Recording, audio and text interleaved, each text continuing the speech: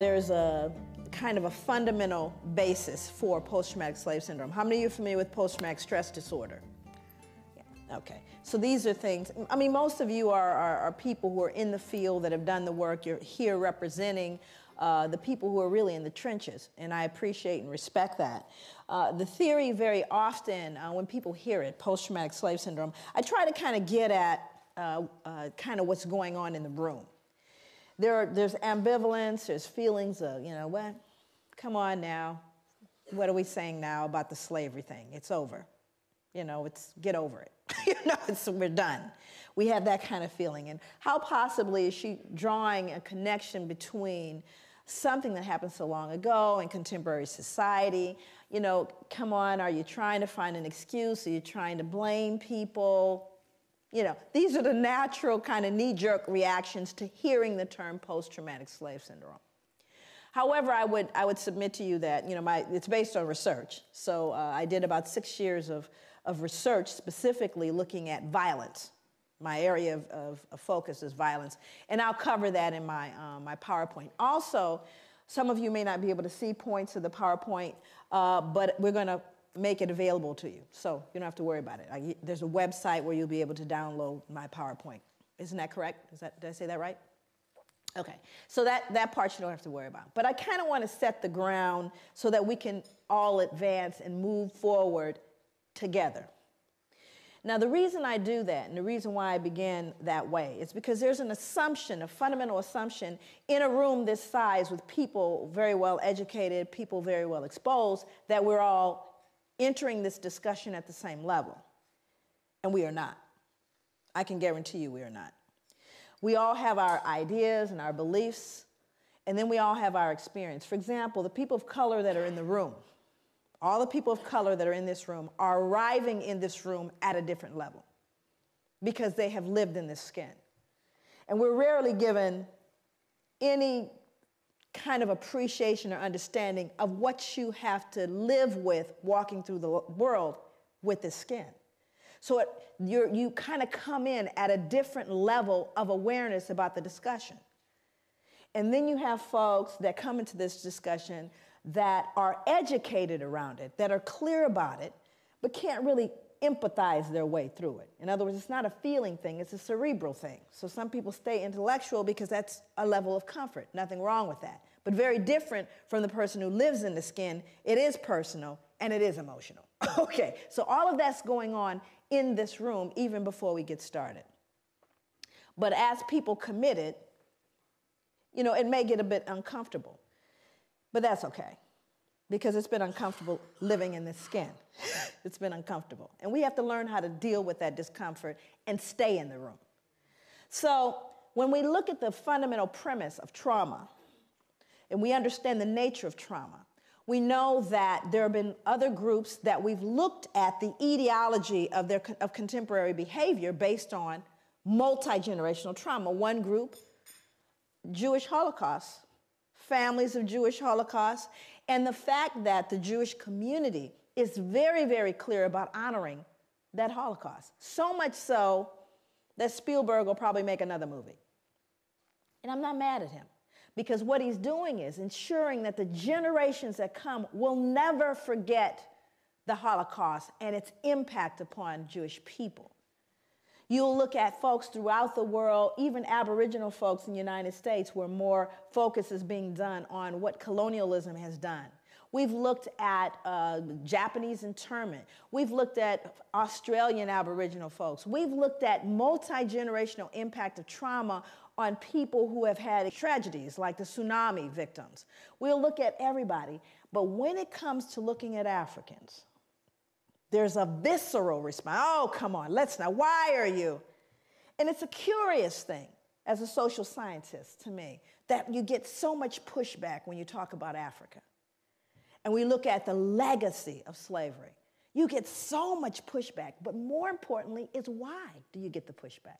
See, as a social scientist, I'm less concerned with the material, which I'm clear about. I'm more interested in why the behavior. Why is there such reticence at looking at this issue? And there's, the answer is when you peel back the layers of this, we peel back everybody's layers. Everyone gets naked in this room, and that's not always comfortable. It's also very comfortable to talk about the other's pathology. And the reason why I think that becomes important is so that when we begin to engage in this discussion, we don't find ourselves falling victim to the fear, guilt, all of that stuff that's no, not useful to anyone. It's not useful. This means we're going to peel the layers back.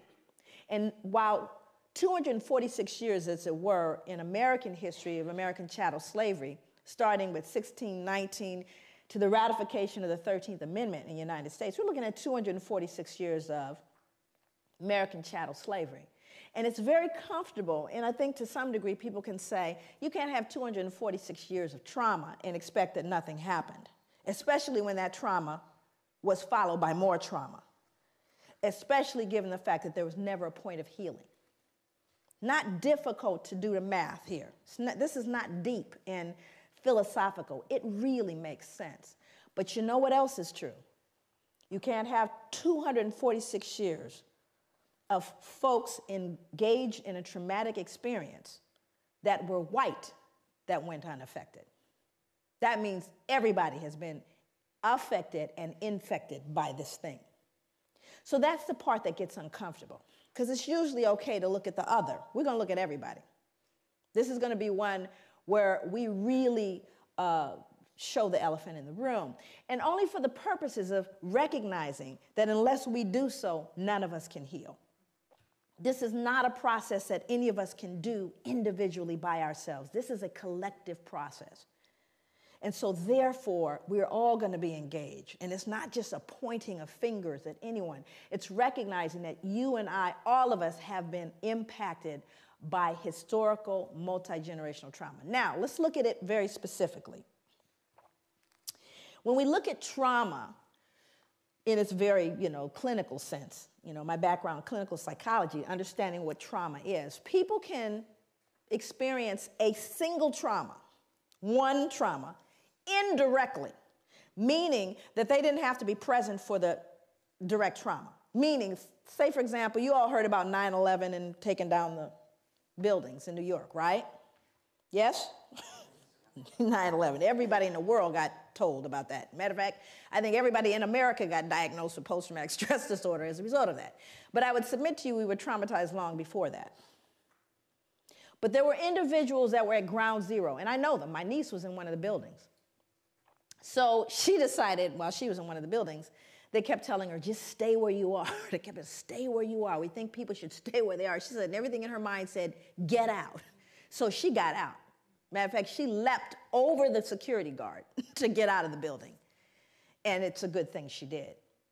But during that time, there were people at ground zero, for example, like my niece.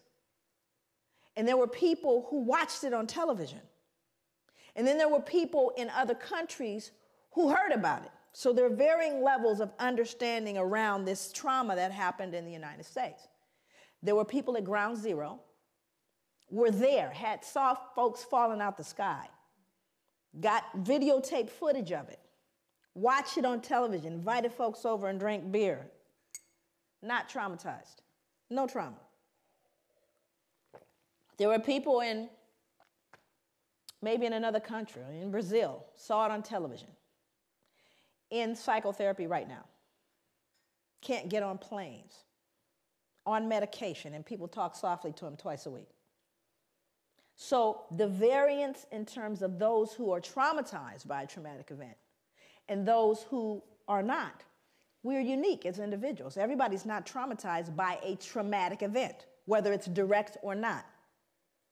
But when we start talking about chattel slavery, we're not talking about one trauma. We're not talking about a specific event. We're talking about generations of trauma with no intervention. Based on what I know about sugar plantations, tobacco, and the Caribbean, what I know about American chattel slavery and the plantations there, does anyone right now ever recall mental health assistance to slaves? Anybody remember sending in the therapist after I sold off your son, daughter, raped folks? Any, at any point, Never. Second question after slavery was officially over, now you're free. Anybody any remember, eh, remember any therapy then? We know it's been rough, it's been deep for you, it's been difficult. We're going to do a little group therapy. Anybody remember that? That would be no. Number three, after slavery officially ended, both in the States, in the Caribbean, the British ended, do you remember whether or not trauma continued? Did the trauma continue for people of African descent? I need to know. Okay, so now let's do the math. Hundreds of years of trauma, no treatment. Freed, more trauma, no treatment. What do you do the math? Do you think there may be residual impacts of that trauma? Of course there is. It didn't end, friends, and it hasn't ended yet. So I think, one, on one point, African people and people of African descent are extremely resilient. Matter of fact, I think we're a miracle. Far be it for us to pathologize or to look and cast this idea of weak and sick people. Oh, on the contrary, we are I'm profoundly resilient because we've done everything we've done thus far with no help, with not even the ability to have this discussion. As though it were possible, we escaped injury in all those hundreds of years and the years that follow. So, this, this kind of journey I'm going to take you on is going to be one that really gives a perspective on what this trauma was, what it looks like, and clinically, what is post traumatic stress disorder? What does it look like? Let me give you a little snapshot. We'll get into it in more depth a little later. But post traumatic stress disorder, if in fact you are diagnosed with that, again, remember, direct or indirect trauma, here are some of the symptoms a feeling of foreshortened future. Now, what does that mean? A feeling, well, you're not going to live long. How many of you are running into young people that don't believe they're going to make it past their 20s? Feeling of foreshortened future, exaggerated startle response, outbursts of anger, difficulty falling or staying asleep, hypervigilance, right? These are symptoms of post traumatic stress disorder. This is like DSM stuff, Diagnostic Statistical Manual Mental Disorders. It's in there. And there's a whole listing of all these symptoms. Now, I want to roll it back so you can understand what, I, what the transmission theory is, because I'm going to talk about transmission. So, how does a person that's been traumatized by post traumatic, literally has a diagnosis of post traumatic stress disorder, and can we, if we are logical and we are reasonable people, assume that a fair number of Africans had to have had post traumatic stress disorder? You think? I'm not talking about us, I'm talking about them. Untreated, though, right? Okay, so now let's do the math. Mom, who saw dad sold or sister raped, has post traumatic stress disorder. Still mom, though, right? Only mom now has outbursts of anger, feeling of foreshortened future, difficulty falling or staying asleep, hypervigilance. That would be mom. Now, Johnny or Mary or Shaquisha does not have, did not have the original trauma. But what are they learning? This is called social learning theory. What am I normalizing? Exaggerated startle response outbursts of anger. Do, are you following me? So I didn't have to be traumatized. Now, the other thing is, do you think Johnny and Mary got traumatized too? Do you see? So, what happens in your environment, you learn from the significant others in your environment. And if they're broken, guess what you're going to be?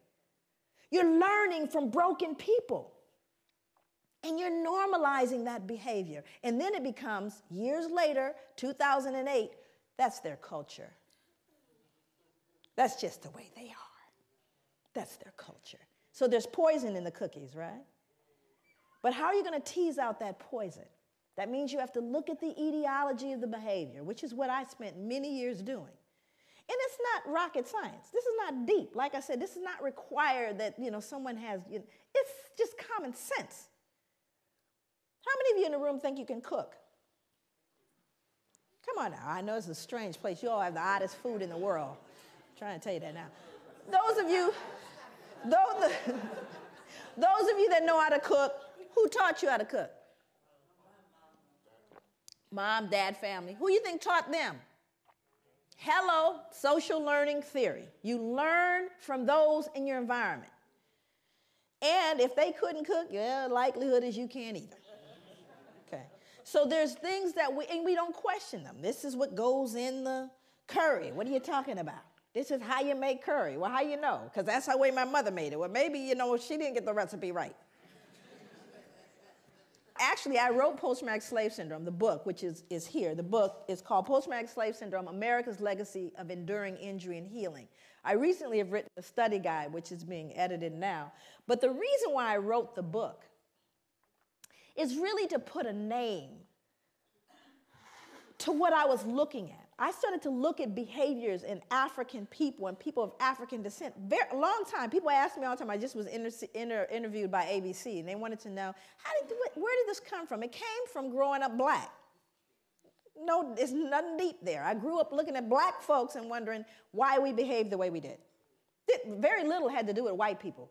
Very little. I was looking at black people and I wanted to understand our behavior. I am 50 years old, and I remember looking at people who were, um, you know, growing up in, in, South Central Los Angeles. That's where I grew up. My, pa my parents are from the South, from Louisiana, and from Belize.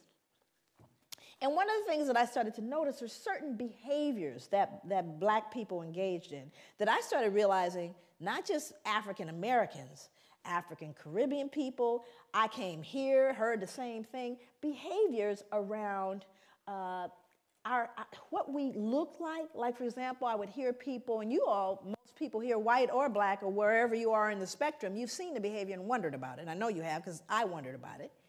Well, you have black people that aren't black. How many people have met black people that actually aren't black? Now, this isn't an interesting phenomenon. These are black people that'll tell you before, you know, first of all, they, they certainly look black to me. They look black, but they don't say they're black. They, well, you know, I've got quite a bit of Indian in me. Did I mention that? You know, a lot of my family are from, you know, all of a sudden there's something else, right? And you're looking going, sure could have fooled me. You look black to me, right? Now, this would be something that I could ignore if it stopped when I was a child in South Central, but it didn't. You could hear it in rap music today. Same behavior. Matter of fact, the rap videos, that they just need to clone the same girl, right? You can, I could draw her right now. What she looks like. The little wavy hair, and you know, she she's black, but not too black. Okay? And what is that about? What is its etiology and why does it persist? That means that it's an intracultural phenomenon that's being passed along through generations. But why? What is this self loathing that I see in contemporary black folks? I'm not going back to slavery, I'm talking about today, who hate and despise the reflection in the mirror. That's what I wanted to know. So that's what led me on my journey, if you will. Again, not an unusual journey in our, of course, I'm going to kind of pop back and forth through British history and American history. James Madison was a very important figure um, in American history, President of the United States, 1751 1836. He said, Blacks are inhabitants, but as debased by servitude below the equal level of free inhabitants, which regards the slave as divested of two fifths of the man. This is, the, um, this is called the uh, the Three Fifths Compromise. And what they were trying to figure out uh, is what are we going to do? How are we going to how are we going to count these these black folks?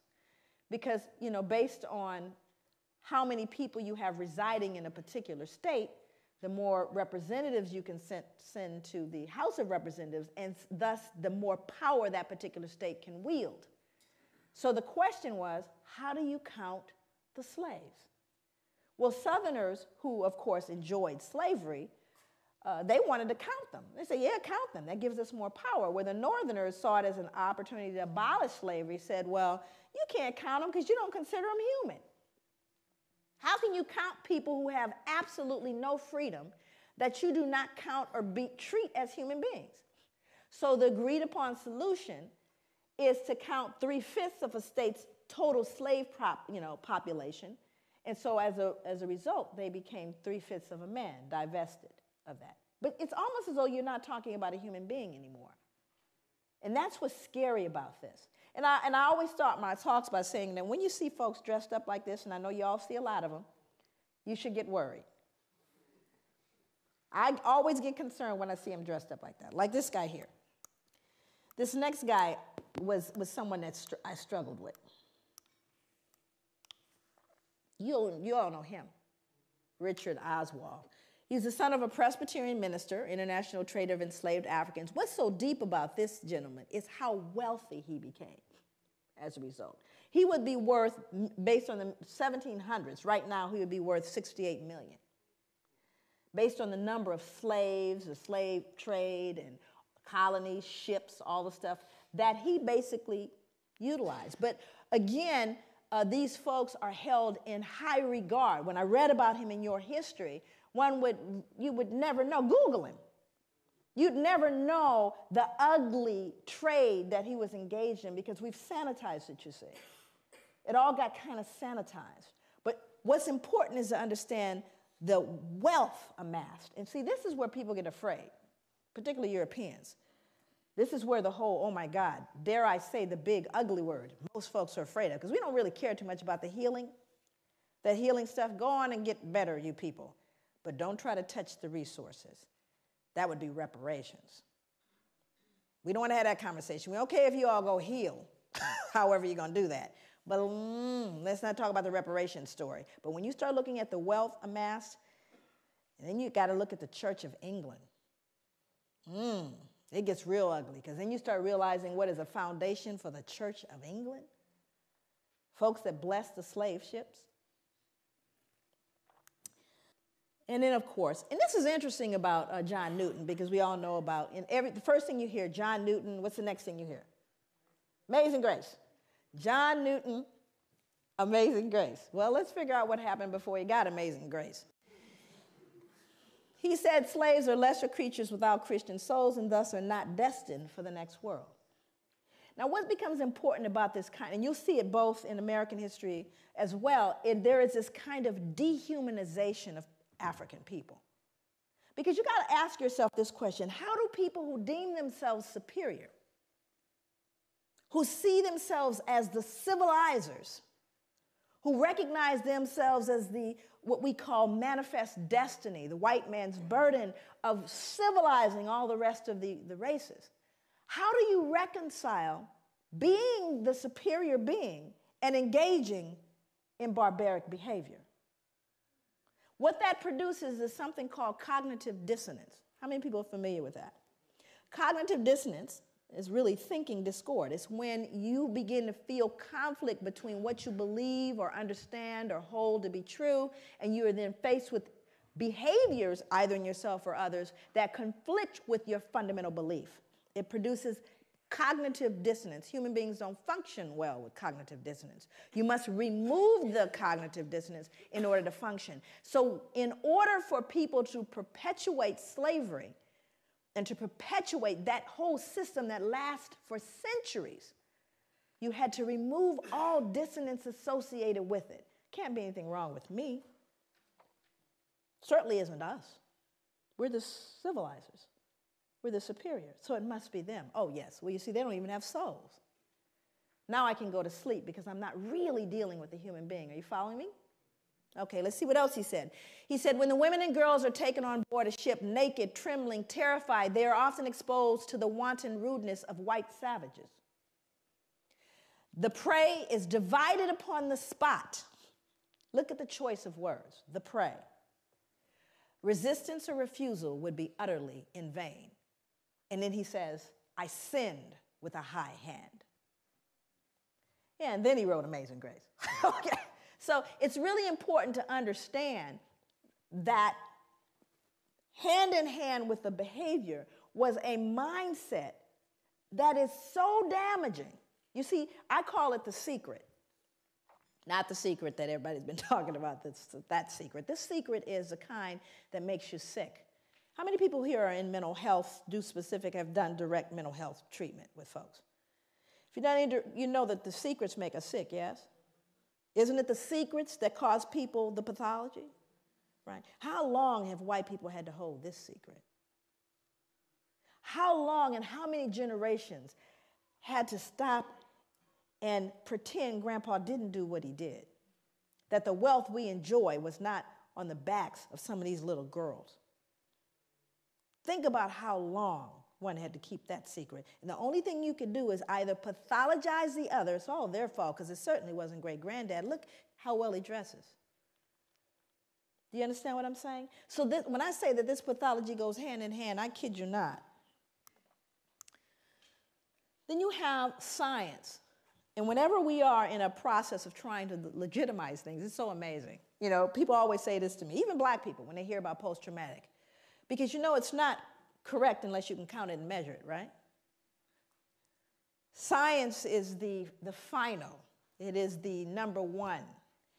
If you can say it's scientific, then you basically trump everything else, right? Science determines reality. So if we can scientifically assert a thing to be true, then in fact it is true because it's scientifically proven. It's a scientific fact. Matter of fact, that's what people will tell you when you when you try to say to them, I don't know if I agree with you. You know, it's scientific. It's a scientific fact, what I'm saying here, right? Which somehow makes it what? True. And it's also in a book. Now let's do the math. It's in a book and it's scientifically proven. Did anybody here realize that recently we lost a planet? Anybody know what planet we lost? How you lose a planet?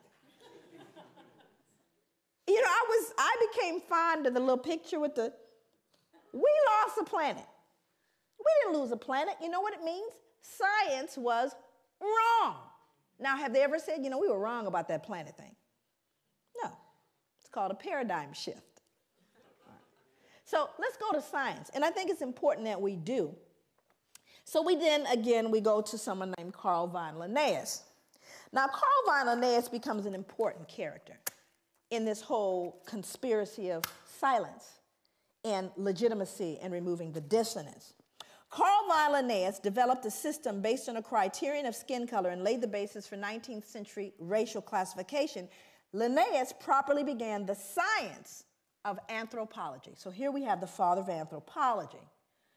Although color classification of races dated back to the ancient Egyptians, anthropologists refer to Linnaeus's Systema Naturae of 1735 as the first modern study of man.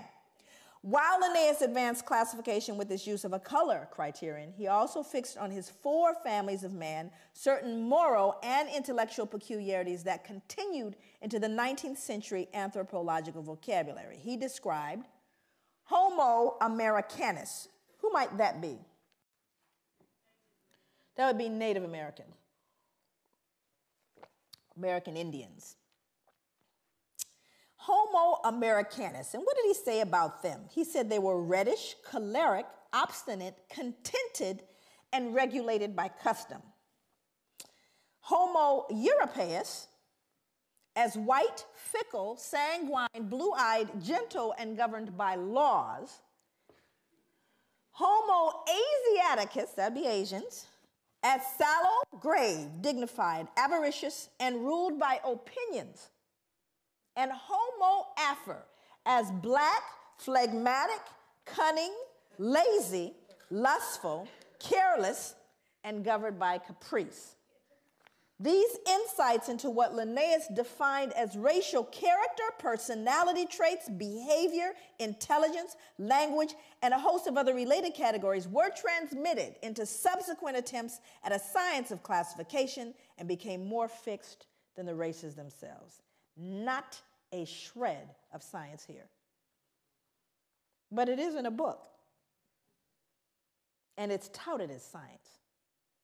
And what's more important, you know, my students, I teach graduate students in, in social work. And they'll say, but Dr. Leary, my God, we're looking at 1707 to 1778. We are, right? After all. But do you not hear these same attributions today? You know, those blacks, they're lazy, uh, you know, all of the exact same, am I telling the truth? In your newspapers, in your accounts of them, do you not hear these very same things? So, does it matter that it started in 1707 and 1778 and has no scientific merit? That's multi generational, is it not? It's being passed along. Part of the swallowing into the social gullet. Those are the beliefs, you see. So it doesn't matter whether it's true or not. And thank you, Carl von Linnaeus. Again, he's removing the cognitive what? Don't they deserve to be treated the way we treat them? Have we not just justified what we've done? After all, I just told you this is who they are. We're not wrong. We're just trying to keep the uh, domestic tranquility. Makes sense. I'm having a clicker thing. There we go. Johann Friedrich Blumenbach. Just look at him. He's not right. We could tell already. but he had to contribute his part as well. He says, now this man, Johann uh, Friedrich Blumenbach, he was an individual. How many of you familiar with the term Caucasian? Oh, yes. then you know Johann. He would designated five races or varieties of man in the, session, in the second edition of his work on the natural variety of mankind. His division into Caucasian, Mongolian, American, Ethiopian, and Malayan races with the added Carl von Linnaeus descriptive peculiarities, became the subsequent basis of most 19th century anthropomedical studies. While Carl von Linnaeus founded his system principally upon skin color, Blumenbach considered a combination of color, hair, skull, and facial characteristics as fundamental means for classifying the five varieties of man. Central to his study was the Caucasian, a term which he originated. He took the name Caucasian, listen for the science, from Mount Caucasus because its southern slope had cradled what he felt to be the most beautiful race of men, the Georgian. The Caucasus near Mount Ararat, upon which the biblical ark came to rest after the flood, seemed the appropriate source for the original race of man. No science yet. Now I'm going to quote him. These are his words. For in the first place, the stock displays, as we have seen, the most beautiful form of the skull, from which is a mean and primeval type, the others diverge by most easy gradations on both sides to two ultimate extremes. That is, on the one side, the Mongolian, on the other, the Ethiopian. Besides, it is white in color. Anybody here ever met a skull that wasn't? Besides, it is white in color, which we may fairly assume to have been the primitive color of mankind. Zippity doo dah, no science, nothing to found this whole thing. He figured white skull, humanity began white. It's scary, but it's in a book, and it's touted as science, and we swallowed it without question. But race is a concept of society that insists there is genetic significance behind human variations in skin color that transcends outward appearance. However, race has no, thank you, has no scientific merit outside of sociological classifications. There are no significant genetic variations within the human species to justify the division of races. Mankind is one. We are one humanity. Isn't it a shame that we are still debating that in 2008? But the reason why we continue to debate it is we still try to reconcile the ugly stuff that we've never dealt with.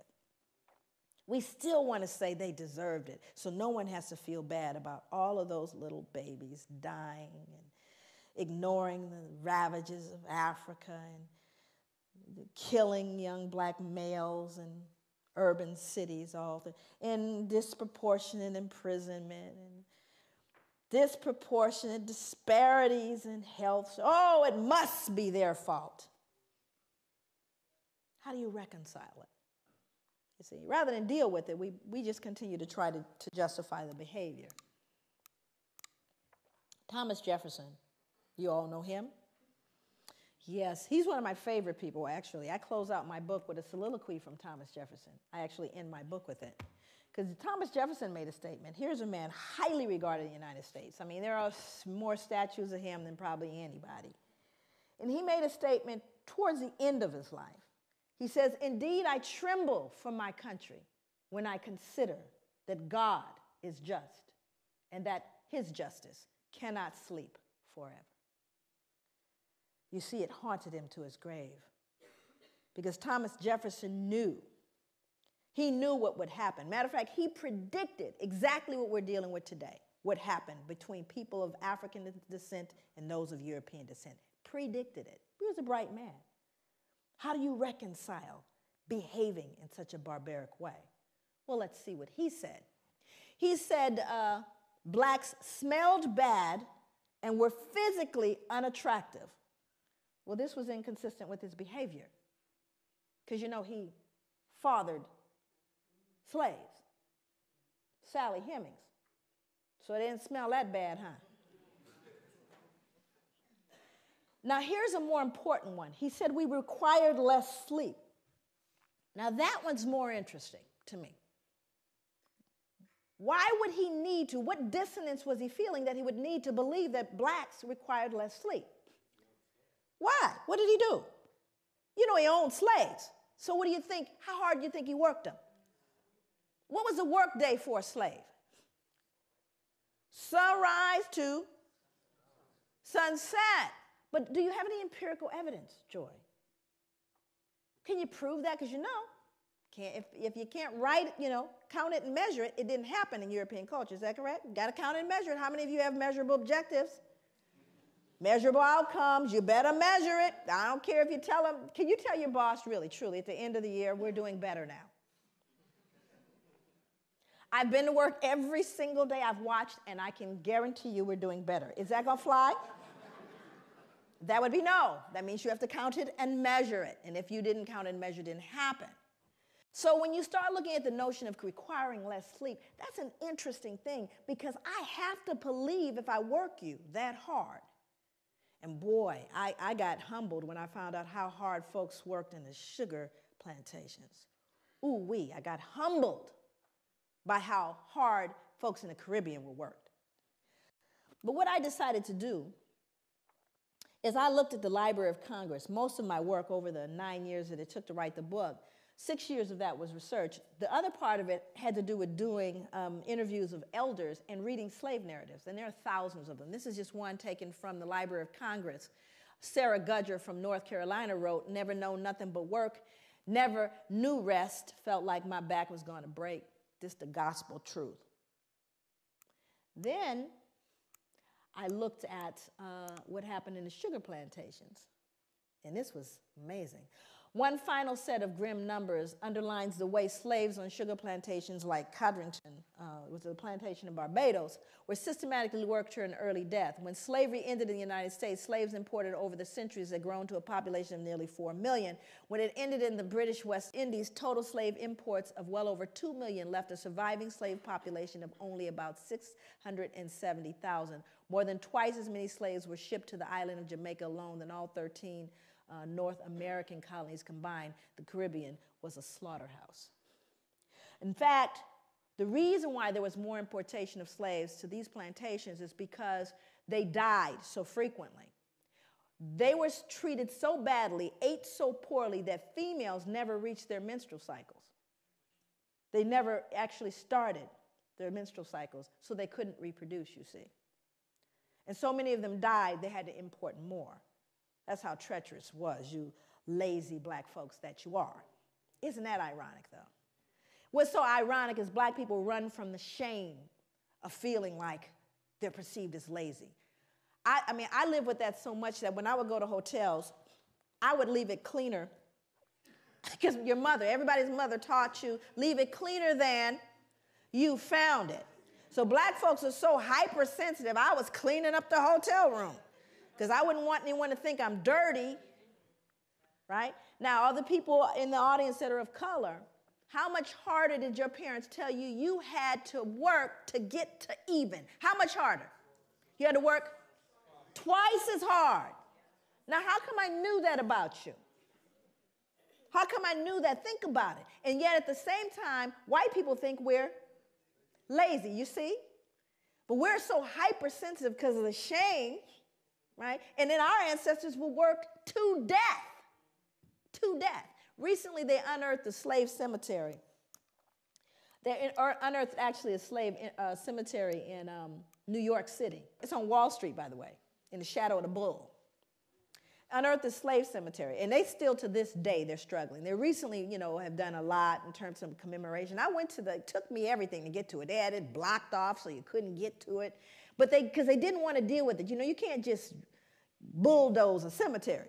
So here in all these skyscrapers in the middle of it is this little cemetery. And there are slaves in that cemetery. More important than that was what the bones told us. Because, you know, now, you know, you got CSI. Hell, I can go in there and tell you what's going on now.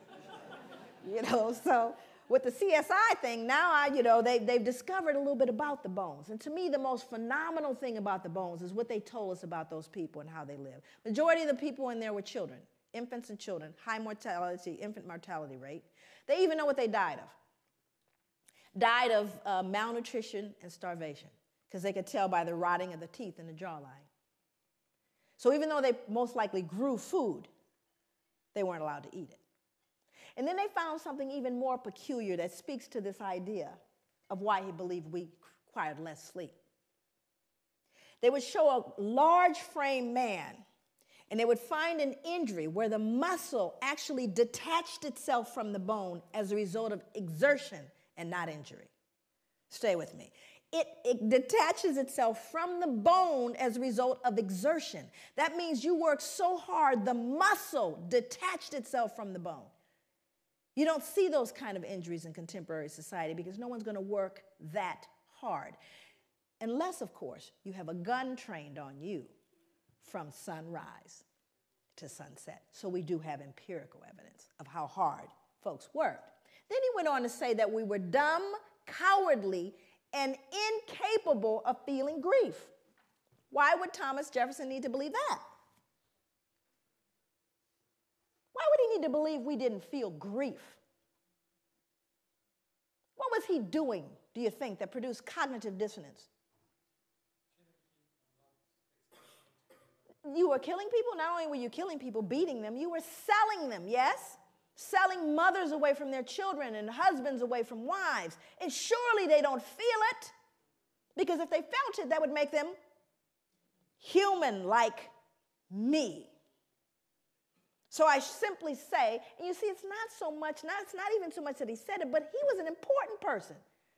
If Joe, nobody said it, but he said it. So what do you think the rest of the folks, uneducated uh, laborers, believed? Well, they don't feel grief, you know. After all, Thomas Jefferson says they don't. So he becomes a critical person in making those statements. But you see, it was all to relieve and to settle the conscience that he died with. But these become very important as you see how these things move forward. Then there was J. Marion Sims. I won't spend a lot of time with him. He's another figure. You can Google him. He's a, there's a statue actually of him in Central Park. And J. Marion Sims was an individual credited. He was a father of, of uh, modern gynecology. How many women in here know what a vaginal speculum is? And for those men in the room that we lost, a vaginal speculum is a device designed to open up the vagina. It was considered uh, one of the most important advancements in medicine uh, that was made. He was credited as being the wealthiest man uh, to have, wealthiest physician to have ever lived. And what's interesting about him, you know, look at the medals pinned on him. I was just very curious about how it was they regarded this man because no one ever really looked at how did he come up with that vaginal speculum. The way he did it was he, he actually uh, worked on unanesthetized, created, did experiments on unanesthetized slave women. He created a, a makeshift hospital in his backyard in the mid 1800s. He built the first vaginal speculum from a pewter spoon. And he reasoned that slave women were able to bear great pain meaning we don't need any anesthesia, because their race made them more durable and thus they were well suited for painful medical experimentation. We didn't even, you know, because we didn't feel like other women could feel. This man would cut into women, cut into them, and just said, well, since they're black, they don't really feel it. Unbelievable.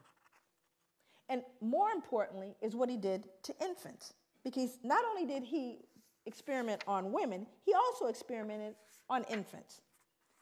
He said that black infants suffered from something he called trismus nascentium, which is now commonly referred to as neonatal tetanus. Neonatal tetanus originates in horse manure, which was a likely cause of the disease in slave infants. He, he attributed it to the indecency and intellectual flaws of slave infants, together with skull malformations at birth. Um, that is a shoemaker's awl. And that's an 1800s shoemaker's awl. He would stick that into the heads of brand new infants in an effort to realign their skulls based on the indecency and intellectual flaws of their parents to treat the malady. Of course, it was a 100% death rate. But that's what he would stick in the head of a baby at birth. And so these are things that are so horrific that you, you, you can't possibly wrap your head around it. And this man is, I mean, just Google him. And you think to myself, I think to myself, if I were up here in front of you right now, and this is going to become very important as you move, I move into the other slides.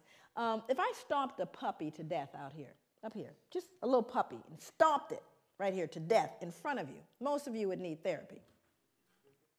And I would be arrested probably faster than killing a black man for killing a puppy. How could you do that? Do you realize how much dissonance you have to remove in order to stick that into the brain of a child? More importantly, the child can no longer be human. Are you understanding what I'm saying? The reason why he could do it is they weren't human. They didn't even feel pain.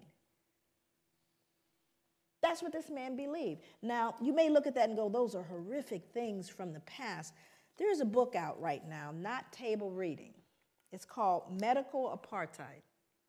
This is written by Harriet Washington, came out last year. This book chronicles the experimentation on black people up to contemporary day. See, we want to look at the Tuskegee experiments. We want to look at Sims and go, oh, that just still going on. Implicated, Harvard, John Hopkins, because we weren't what? Human. So that dehumanization is something that we really got to appreciate uh, went on for a long time. Can you go back? Back one more. No white could ever rape a slave woman. The regulations of law as to the white race on the subject of sexual intercourse do not and cannot, for obvious reasons, apply to slaves. Their intercourse is promiscuous. We've now justified raping black women because they can't be raped. They, we aren't raping them, they're promiscuous by nature. So we can't do it. Uh, forward, one more. The fact that white men could profit from raping their female slaves does not mean that their motive was economic. The rape of slave women by their masters was primarily a weapon of terror that reinforced whites' domination over their human property. Rape was an act of physical violence designed to stifle black women's will to resist and to remind them of their servile status.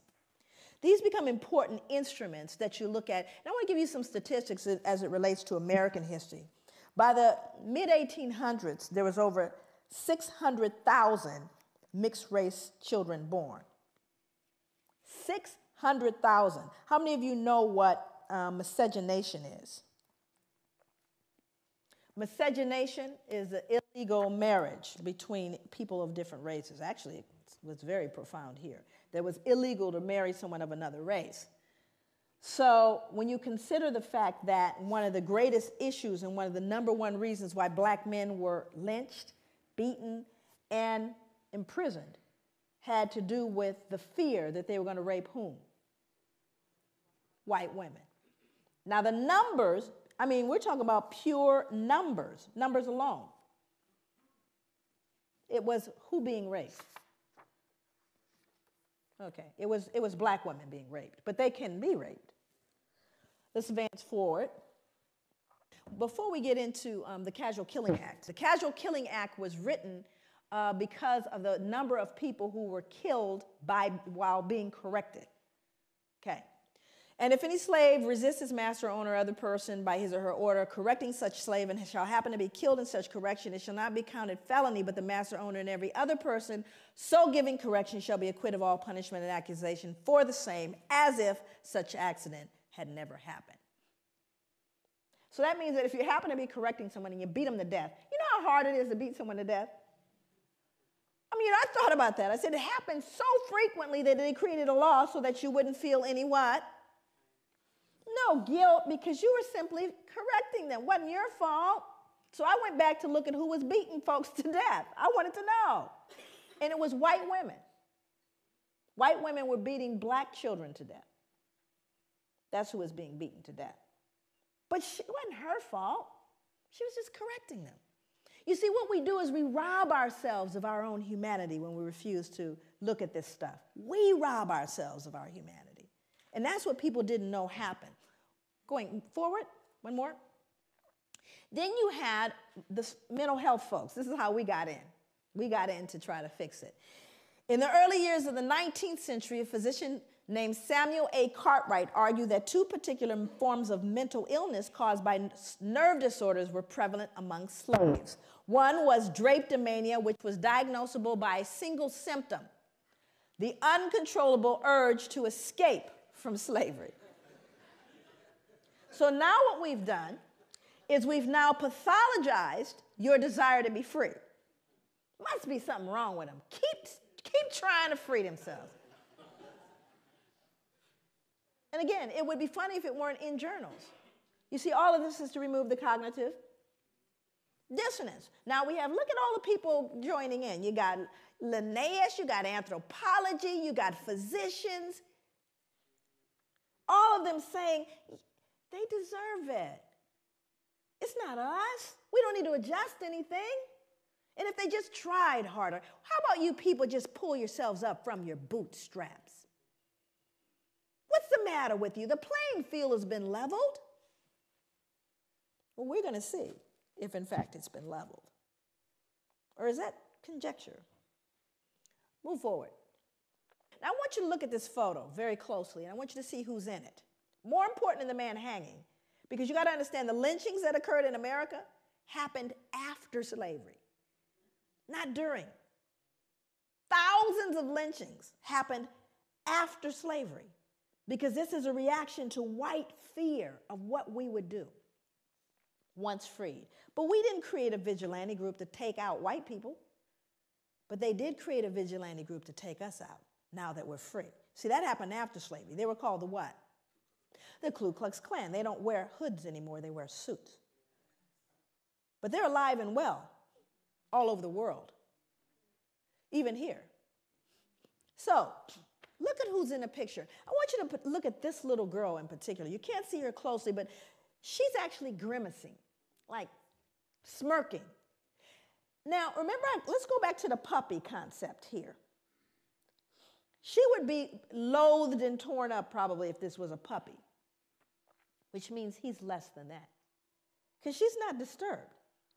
This little girl is not, is not disturbed by this, but she should be, shouldn't she? People always ask me, they go, Joy, what was the impact on white people? There it is, right there. Can't feel any empathy for him. None, zero zip. There's a little one back here, even smaller. Because whatever she's been taught or told, socialized to believe, makes him no longer human. That's the greatest danger to white people is that they can't feel it. And there's a reason why white people can't feel what we're talking about. My God, what would you then feel? It's tough. So I've got to believe, oh, it's all over now. It's not my fault. I don't benefit. It's not a big deal. Let's move on. It's not all of those things. But we don't say that to Jewish people. I dare you. But you have to understand when you unearth this one, that's what we did to our children. Let's move forward. This is a similar photo to the one that uh, is used in um, Denzel's movie. Now, again, most important, this is a man that's being burned. Also, I won't read the depiction, but there are newspaper accounts of this. It's written in a book called 100 Years of Lynching by Ginzburg. No pictures, just newspapers that say not only did they burn him, they decapitated him, cut him into pieces, and used parts of his body as things to put on mantles. So people would say, Get me a tongue, would you, or a liver, a little crisp, so I could put it on the mantle. Now, again, I want you to look at the folks. I want you to look at who's here. We're not talking about the toothless, big gut, hooded wonder, are we? We're looking at plain old, common, dressed up folks. They're squeezing, please, I want my picture taken. Are you following me? This is somebody's cousin, uncle, somebody. And the ability to do that, dehumanize this man and rob them of their humanity all at the same time. All at the same time. That is the most dangerous, treacherous thing that could happen. What did Hitler do? He dehumanized human beings, put babies in ovens.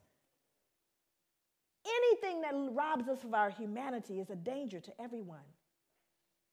And that is what's going on with people of African descent all over the world because not only did it get done here, but who did we tell the entire world we told these people don't deserve any value? Everyone wants to be American, not y'all. But when we go, I mean, I literally go to countries all over the world. America sets the standard, and thank God for what happened later. Let's move forward. So, a lot of people start saying, well, y'all got free, right? Y'all are free, everything's fine. Because that's, the, that's, see, whenever you talk about post traumatic slave syndrome, people get locked there. So there's a myth that after slavery ended, the playing field was leveled. Was it? Remember, all the lynchings occurred after slavery. That wasn't during, after slavery. So you had black sharecropping. Now, we didn't get a lot of black history in our schooling. I have four degrees and three of them advanced degrees. Never did I get black history. I got about two pages of black history, and one of them, what page was a picture? And there was a picture of the little folks with the cabin. You probably saw the same picture. It's a little cabin, the little guy on the porch with the banjo, little children running, frolicking about, eating watermelon, right? Everybody happy?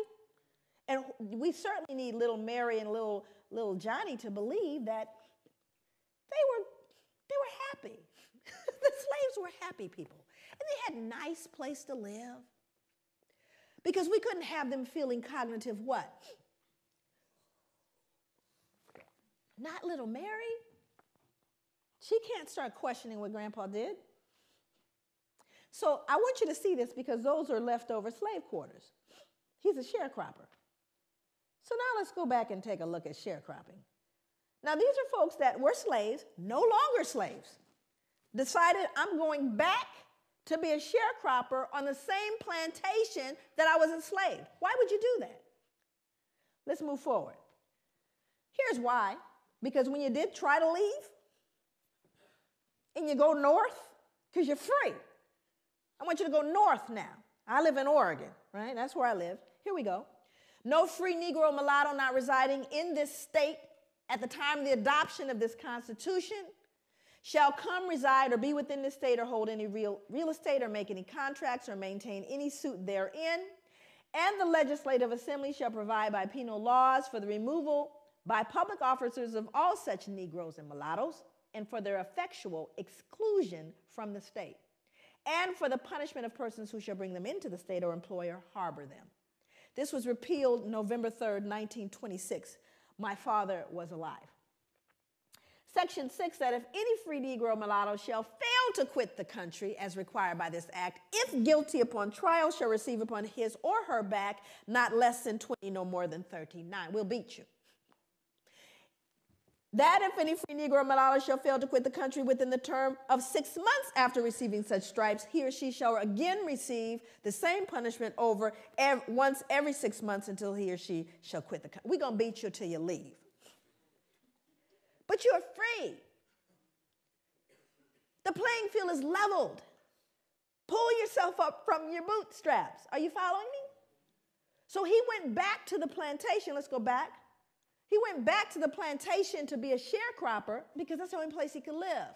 But he can't read or write because it was illegal to educate a slave. So I'm illiterate. I go back and I say to the slave owner, who past slave owner, okay, now I'm coming back to work for a fair wage because I'm free. And the slave owner says, sure, you can come back. So here's what I'm going to do I'm going to advance you seed, tools, and a mule. In other words, you know, I am going to um, give you that grant that you want. And we're going to let you work with that. And at the end of the year, we'll settle up. Well, the grant's never enough, is it? And so at the end of the year, he's found owing. And what must he do to pay off that debt? He's got to work it off, yes? And his children have to work it off, yes? That's called debt servitude or another form of slavery. But you all are free. What are you whining about? Let's move forward. Move forward. So, well, can we lease them? Now, everybody wants to know big issue. You have overrepresentation here. Guess how I know? Overrepresentation in the criminal justice system has its etiology. It was big business then. It's big business now. You're going to get free labor one way or another. New slavery is imprisonment.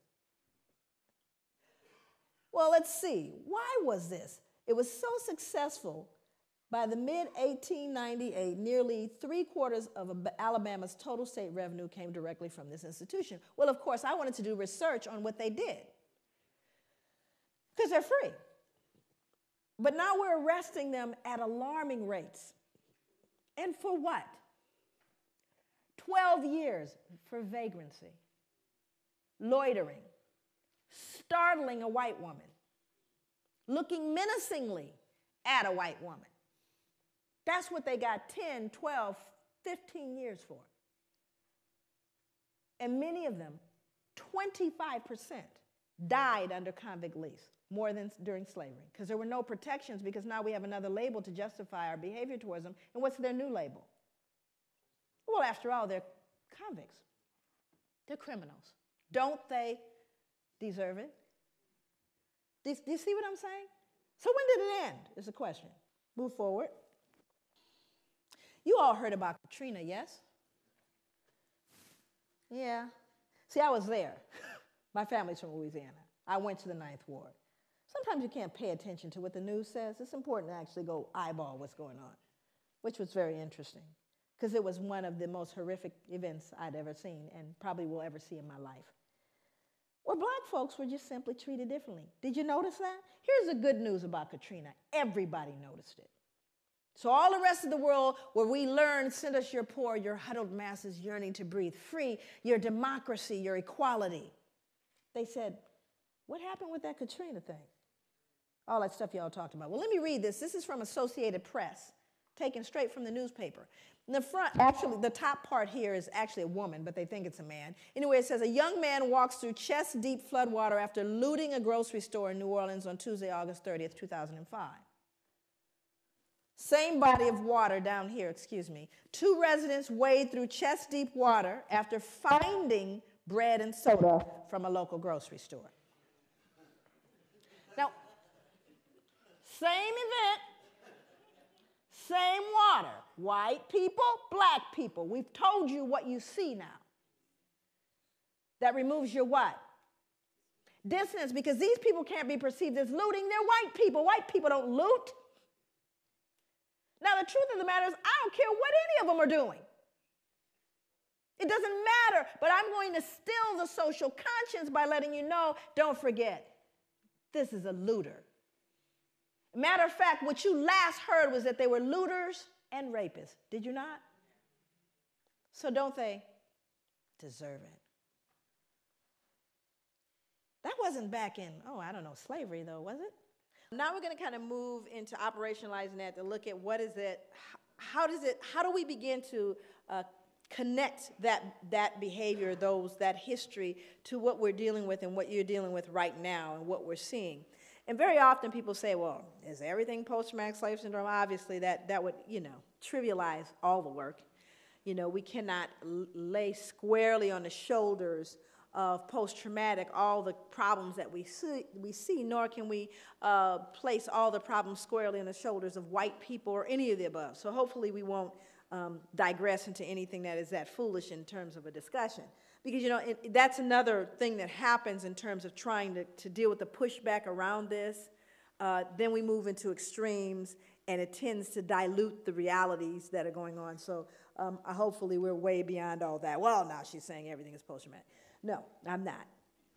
Um, and most of my work, uh, my background is really in the field, doing, um, you know, doing work in the community and grassroots. That's where my, my, training was in terms of my clinical work.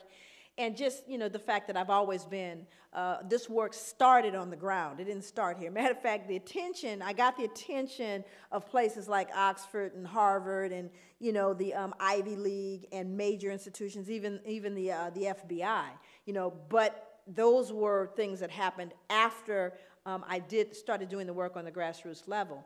Um, and so it's for me, my, my commitment is to healing. So this is not an, an exercise uh, in some kind of broad intellectual esoteric. It's really about how do we then take this information and help a person extricate themselves from uh, behavior that they've learned and or been socialized to believe, black and white, and everyone in, in the middle that has been affected by this. Um, what do we do? So this is kind of looking at the contemporary uh, kind of reflection of the trauma, uh, which is white, white supremacy and terrorism. That continues. We, we see that on a daily basis in the United States as well as, as here. Uh, this book is called um, Breaking Rank by Norm Stamper. Norm Stamper is a 34 year police veteran. He was a chief of police for the cities of San Diego and Seattle. This is a white man, wrote this book called Breaking Rank, and he really did. So all I can tell you is he broke rank. I've been trying to meet Norm. Norm travels quite a bit, and he gets a considerable uh, amount of uh, death threats because of what he's done. But he talked about, and this is contemporary, and remember, that's what we're looking at. How does it reflect itself today? I've heard some police officers refer to prostitute slayings or to the slayings of blacks as misdemeanor murders, employing an unofficial code for them, NHI, which means no human involved. Now, these are on telephone calls. These are on calls that you hear on police officers speaking. Hey, what do you have? Well, we have an NHI. We have no human involved. It's a black person killed. Do you see what I'm saying? Again, the dehumanization reflecting itself in just their casual involvement with one another. San Diego cops confessed to a myriad other acts of discrimination, including additionally dehumanizing the references to blacks on a radio call Justin 1113 nigger. 1113 is a code for an injured animal.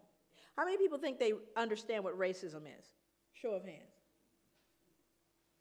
Come on, you know, you, you, you think you know. I'm not suggesting I know. I just have a couple of definitions that, uh, that kind of came to me as I thought about. How many people think there are white racists? That there are white racists out there? How many think there are black racists out there? Okay. Now, this is an interesting thing because this becomes important as we begin to define concepts. Now, I do that, I usually define concepts um, all the, all the way. But one of the things that I, I do is I try to do, help people get a picture of what I mean by, by racism. So tell me how it is. I'm going to first category is white racism, then we'll deal with black racism. So white racism. Tell me the ways in which white racism adversely impacts the lives of black people. Just what are the ways that white racism can adversely impact the lives of black people as a group? What are some of those ways? I'm sorry? Power, but how is that defined specifically? Education, okay. I'm sorry? Economically, employment. What else? Housing. What else? Policing. Why are we here today? Healthcare. Okay. Now, we could actually kind of grow that list. Now we're going to move over to black racism. Tell me the ways in which black racism adversely impacts the lives of white people as an entire group. Thank you. The reason why you become silent, there's one that always comes up, and that's fear. White people are afraid of black people. They are afraid of us. And it's a very interesting thing because black people know it. We know white people are afraid, but you have to start getting into the psychology. What are you afraid of? Why are you afraid? But it's an interesting dynamic. Now, also, you see the difference in what racism is, do you not? Racism implies you have not just prejudice, but the power to do something with that prejudice. Now, I don't like you, not only that, but I'm going to control whether you can get, you know, I may say I hate you. I hate white people. I hate them. I hate them. It's not going to change you getting that, you know, loan when you go to the bank. You could go, you can hate, I can hate you all the way to the bank. Not going to change. Do you see the difference? That whereas white racism says, not only do I not like you, but I'm going to change the, the impact of where you can live. I'm going to determine with that racism where, where your powers are. You following me? And I'm talking about as a group, not an individual, because people said, I remember when my uncle didn't. I'm not talking about your uncle. I'm talking about the whole group. I'm not talking about an incident. That's a difference. But white people are afraid. So let's get into how this fear impacts criminal justice. Because if white people in this room are afraid of black people, guess who else is afraid of, afraid of black people? Only they have guns. So now let's look at what he said. Simply put, white cops are afraid of black men. We don't talk about it, we pretend it doesn't exist, we claim color blindness. We say white officers treat black men the same way they treat white men, but that's a lie. And here's a big one. In fact, the bigger, the darker the black man, the greater the fear. Any big black men in here? You got a big old bullseye on you, even if you got the suit on. And it's the truth because we statistics bear it out. The African community knows this. Hell, most whites know it. Yet, even though it's essential, if not the defining ingredient in the makeup of police racism, white cops won't admit it to themselves or to others. He goes on to talk about actually learning it in the academy. Norm Stamper, he told on everybody. He had folks indicted. He now lives in a cabin on a mountain somewhere in the San Juan. Islands. That's where he lives. Nobody knows where he lives because he knows they're coming after him, and they have. This is a statement from the book also. Race and class discrimination are all too real in every phase of the criminal justice system, from arrest to sentencing impoverished black defendants, and this is going to sound familiar to you, are far more likely to wind up on death row than richer middle class whites or the 3,000 and of the 3,700 inmates now awaiting execution nationwide 43% are African American black defendants are not accorded the same due process rights as whites. Their cases are not given the same scrutiny and consideration afforded to white defendants. Not now not ever not in this country. This is what the man said. It was dismal. But he doesn't believe it's possible in the current system so what we have to realize is we need to be realistic about that. So what I have to do is teach my sons how to navigate this, do I not? Doesn't matter what I think and oh baby, you know, we are the world. No, this is real. You do have a bullseye on you. When, you, when you're in, a, in an elevator with the only white woman there, and you're the big black man, she's clutching her purse and she's worried. That's a reality. And if you startle her too much, it used to mean you get lynched. Matter of fact, I think she could scream rape now and you'd get taken down. Now, this is interesting because this has to do with women. You know, my father used to say if a white man has a cold, a black man has pneumonia. And if a black man has pneumonia, a black woman has cancer. It just kind of figures out that way. In 1986, on duty California Highway Patrol Officer Craig Peyer strangled a San Diego State University student named Cara Knott and threw her body off a 70 foot bridge. Motive, she'd resisted his sexual advances. Now let's go back and understand that, and this is an interesting thing. I worked with adolescent and adult male and female prostitutes for five years. I don't want you to get that confused. I'm not an ex ho. I've actually had people say, gosh, she's come along, you know, she used to be. She's done so well.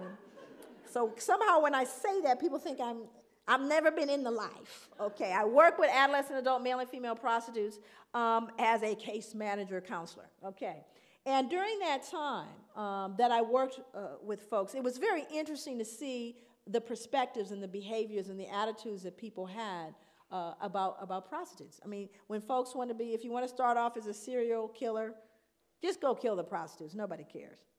They don't even invest, CSI don't investigate the, the prostitute slayings, right? But when we, we begin to see what's been happening with particularly women of color, you know, just historically, women of color have been fodder for white men. Now, what started in the, in the, in the backwoods or in the cabin with the slaves, it never went away, you know. And I want, I want to speak to this because this is a tough one to swallow, too. But imagine, they did a, they did a study back in the, um, in the, actually in the 80s, and they asked men, cross the board, cross races, if you could get away with sexually assaulting a woman, raping a woman, in other words, and there's no possible way that you'll get, you know, penalized for it. Do you ever get, would, would, how many of you would consider doing it? This is just regular Joe, go to work with the kids. 70%. 7 0. Said if I could do it, I would do it. Imagine being able to do that for a couple hundred years with impunity. Imagine, you don't have to worry about, you know, you talk about pedophilia and all that. Imagine being able to buy that. And then you could beat it to death too and get another one. I know it's tough to wrap your head around, but what happens to an appetite created like that? Where you could rape a black woman anytime you wanted to, and it wasn't considered rape because she was promiscuous. Hundreds of years. We're not talking about a few years, hundreds of years, protected by the law. No moral, you could go to church, it was all good. Where do you think that went after slavery ended? It didn't go away because guess who's the number one? You got folks who are pimping the women, and then you got the ones that are buying them. And who's buying them?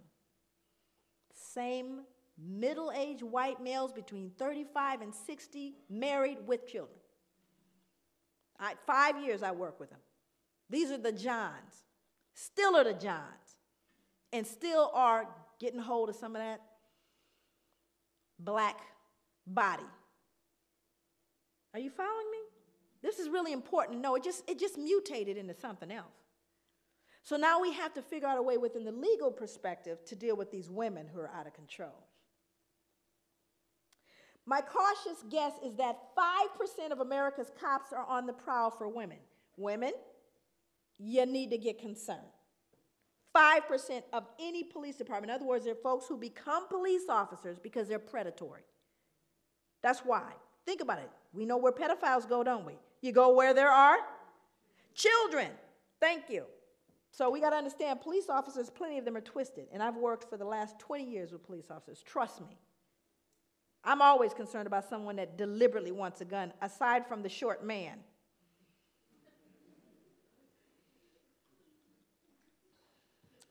In a department the size of Seattle's, that's 63 police officers. In San Diego, 145. In New York City, 2,000. The average patrol cop makes anywhere from 10 to 20 unsupervised contacts a shift.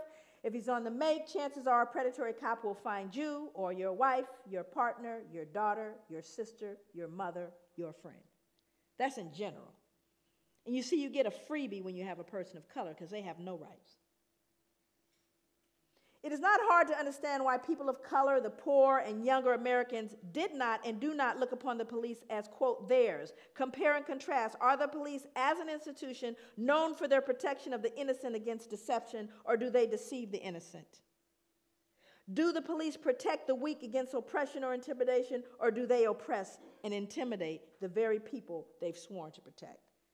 Again, we're not talking about anybody that just fell off a truck. We're talking about a 34 year police veteran who went back, by the way, to get his PhD.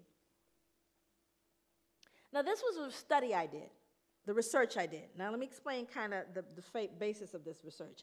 200 African American male youth, 100 of whom are incarcerated, right? 100 of whom are not, but are from the same neighborhood. That was my, uh, the, the, the group that I was working with.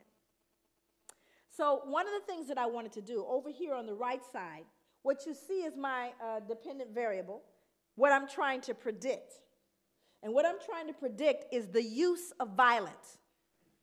So, what I discovered was the most significant predictor of African American adolescent violence when I did the multiple, in other words, I put all the variables together to see out what was most significant. The baseline variables of witnessing and victimization, we already know they're going to fall, out because they're baseline. We already know that. Was respect. The most important predictor, respect. Think about that. How do you get respect as African American male, period, but a male youth 16 in your society? How does he get respect? Got to get it though, because he's not going to roll up in a corner and bawl and die somewhere. He needs to get respect. And as black people, I say this all the time, I'll end here, that we can ill afford to swallow whole what is called cultural. We can ill afford to swallow that because there's poison in the cookies. And the only way to get the poison out of the cookies is not someone from the outside looking in, but those who are living in this to be able to look at themselves and assess it with a level of dignity, a level of safety that perpetuates a sense of, a sense of well being and healing. Thank you so much.